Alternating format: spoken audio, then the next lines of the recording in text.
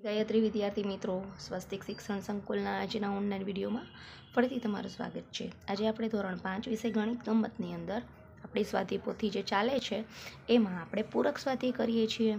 પૂરક સ્વાધ્યાયની અંદર આપણે દાખલા નંબર ચાર આવ્યા છીએ. દાખલા નંબર ચાર સ્વાધ્યાય પોથી તમારી સાથે રાખો. એક મોટરસાઇકલ કંપનીના ડીલરે એક અઠવાડિયામાં કેટલી મોટરસાઇકલ વેચાય છે તે ખાનાના ગ્રાફ દ્વારા નીચે બતાવેલ છે. હવે મોટરસાઇકલ કંપની છે એના ડીલરે એટલે વેચનાર, એણે અઠવાડિયામાં એની જે મોટરસાઇકલ વેચાણી છે એને અહીંયા ખાના દ્વારા દર્શાવેલી છે. અને અહીંયા તમારે ગણતરી કઈ રીતે કરવાની? તો કે એક ખાનું બરાબર તમારે દસ મોટરસાઇકલ ગણવાની છે. ચલો આપણે જોઈએ અહીંયા. સોમવારે કેટલી મોટરસાઇકલ વેચાણી છે? બે બોક્સ છે, એટલે કે દસ ને દસ, વીસ.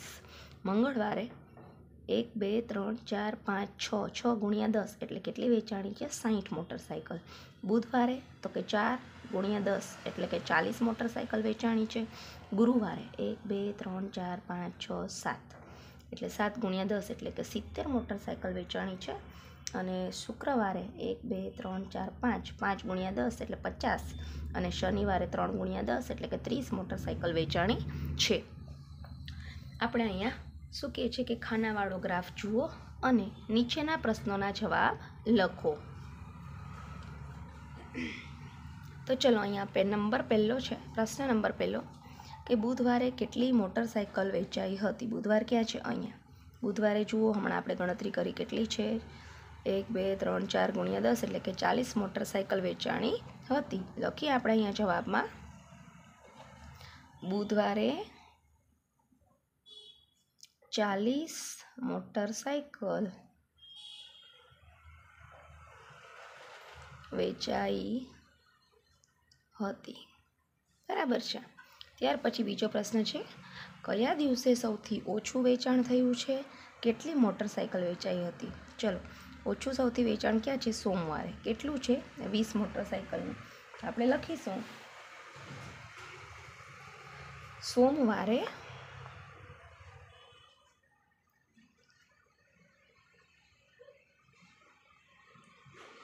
વીસ મોટરસાઇકલ. સૌથી ઓછું વેચાણ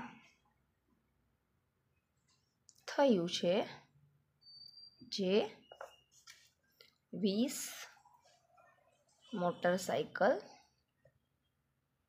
છે. સોમવારે સૌથી ઓછું વેચાણ થયું છે. કેટલું થયું છે? વીસ મોટરસાઇકલનું ત્યાર પછી તમને કહે છે કે મંગળવારે શનિવાર કરતાં કેટલા ગણું વેચાણ થયું છે? ચલો, મંગળવારે કેટલી સાયકલ વેચાણી છે? એક, બે, ત્રણ, ચાર, પાંચ, છ, એટલે કે સાઠ એટલે મંગળવારે આપણે જોઈએ તો સાઠ બરાબર? અને શનિવારે કેટલી છે?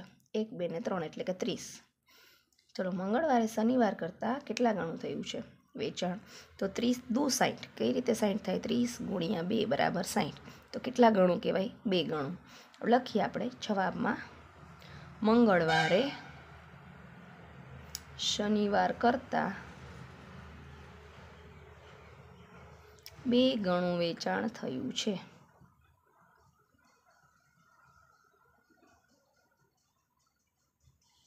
બરાબર છે. ત્યાર પછી આપણે જોઈએ, સૌથી વધુ વેચાણ કયા દિવસે થયું છે? સૌથી વધારે વેચાણ ગુરુવારે જુઓ.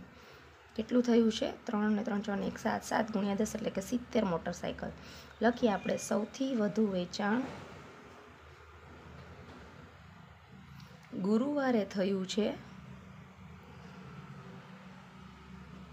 જે સિત્તેર મોટરસાઇકલ છે બરાબર? આ રીતે તમારે જવાબ લખવાના છે.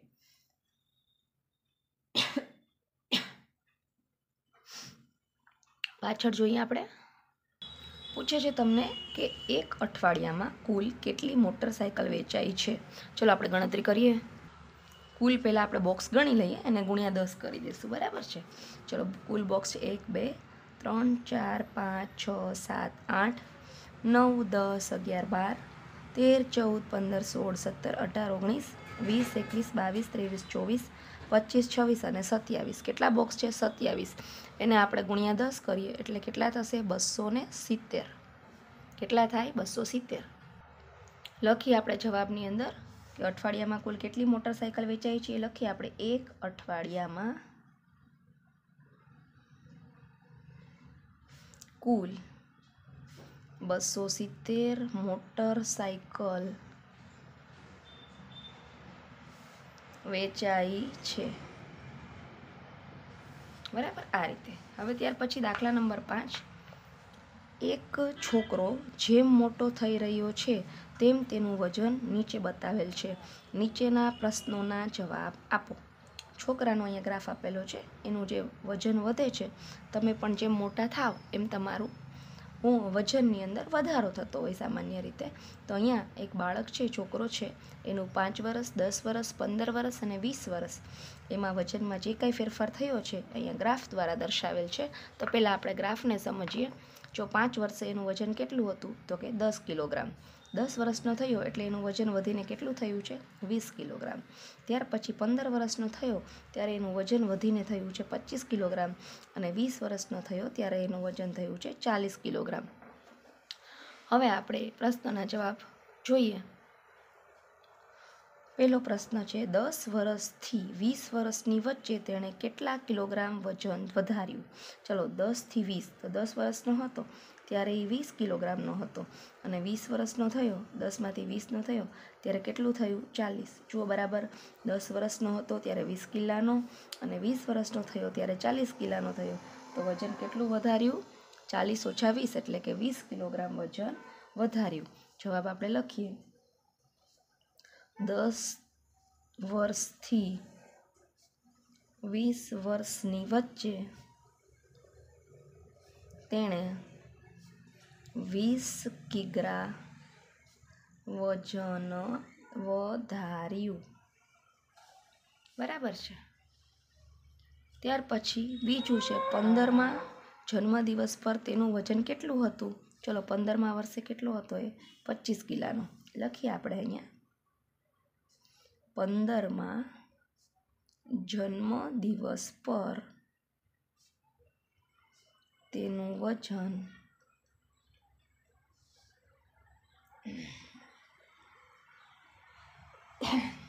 પચીસ કિગ્રા હતું. બરાબર છે. ત્યાર પછી પ્રશ્ન નંબર ત્રણ છે. કયા દિવસે તેનું વજન સૌથી વધારે વધ્યું? સોરી કયા સમયે તેનું વજન સૌથી વધારે વધ્યું છે? કયા સમયે વધ્યું છે? જુઓ. પાંચથી દસ વર્ષનો થયો, ત્યારે દસ વર્ષ વધ્યું છે. અહીંયા વીસથી અહીંયા પચીસ એટલે પાંચ થયું છે અને અહીંયા પચીસથી ચાલીસ એટલે પંદર વધ્યું છે. એટલે કે સૌથી વધારે વજનમાં વધારો ક્યારે થયો છે? પંદર વર્ષનો વધારો થયો છે. ક્યારે થયો છે? તો કે પંદર વર્ષથી વીસ વર્ષની વચ્ચે એનું વજન સૌથી વધારે વધ્યું છે. જવાબ આપણે લખીએ અહીંયા. કયા સમયે? તો કે પંદર વર્ષથી વીસ વર્ષની ઉંમરની વચ્ચે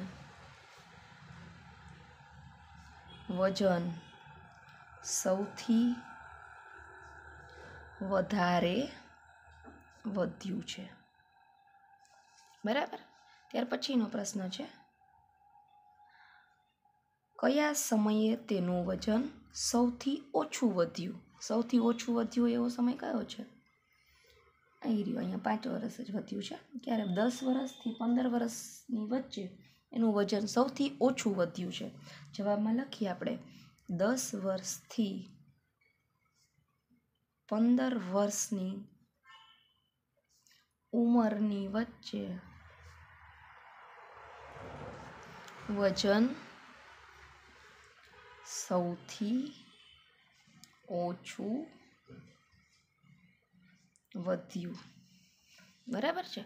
આ રીતે તમારે ગ્રાફની અંદર જવાબ લખવાના છે, સોરી સ્વાધ્યાય અંદર જવાબ લખવાના છે. ગ્રાફ સમજીને. ગ્રાફ સમજાય એ વાત છે.